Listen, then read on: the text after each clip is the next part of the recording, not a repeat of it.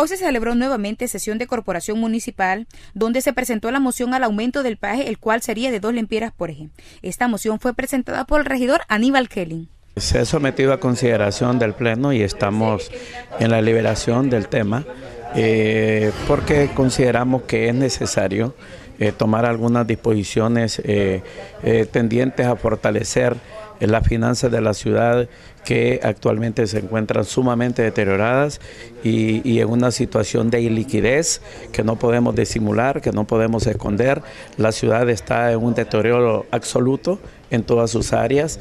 Eh, las vías de comunicación es un clamor de este pueblo atendernos y ponerle una solución definitiva al problema del estado de las calles, tanto de las calles pavimentadas como las calles de terracería en los diferentes barrios y colonias, así como eh, la necesidad de eh, iniciar ya con ese proceso eh, de construcción de las obras, de más de 30 obras que propuso el Foro Ciudadano, la sociedad civil, a la Corporación Municipal y que nosotros aprobamos, que son las obras que realmente van a poner a San Pedro Sula al nivel de las orbes de las mejores ciudades de Centroamérica.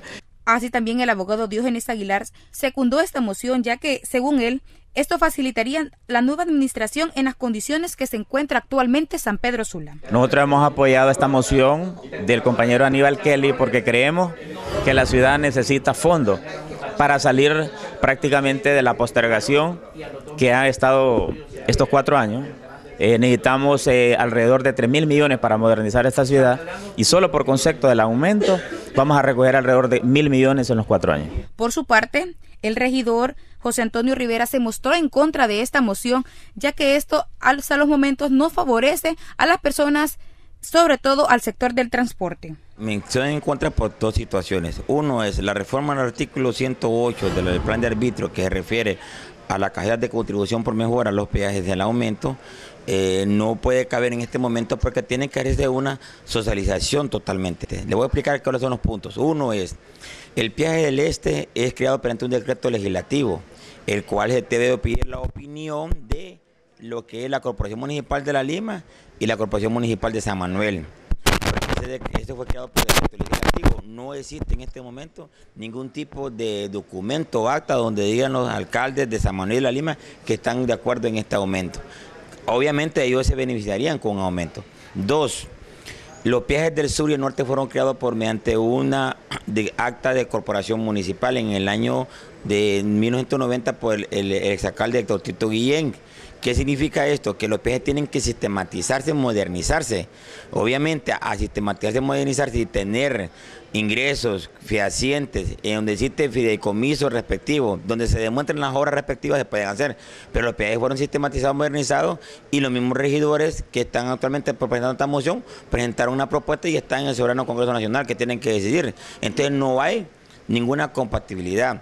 Tres, se tiene, que, se, se tiene que socializar un tema como esto con el pueblo, que se dé cuenta verdaderamente qué es lo que está pasando.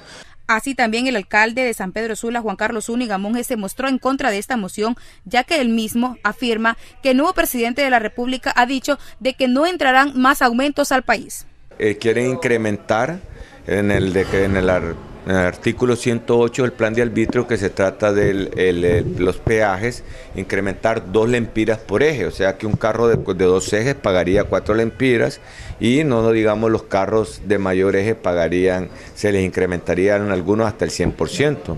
Entonces eh, nosotros definitivamente no estamos de acuerdo en el incremento de los peajes, creemos que no, no es el momento para esta situación de viendo cómo está la situación del pueblo de Honduras y de San Pedro Sula, no solo de San Pedro Sula, sino del pueblo de Honduras que está en una situación económicamente difícil. Eh, estamos más pobres que antes, así, así lo han establecido los organismos internacionales, que Honduras ahora es más pobre que antes. Entonces estos incrementos nosotros estamos, eh, nosotros estamos en contra de estos incrementos porque definitivamente vienen a golpear al usuario de los peajes.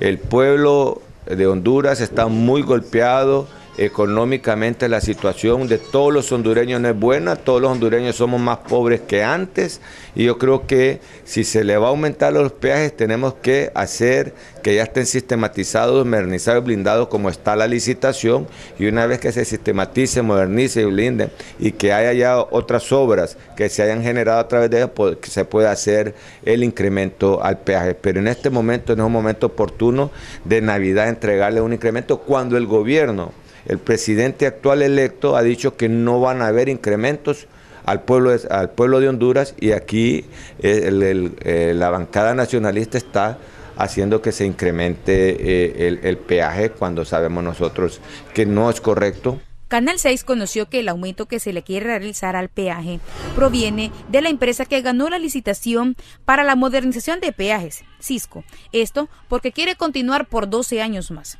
informó para Canal 6 Claritza Matamoros.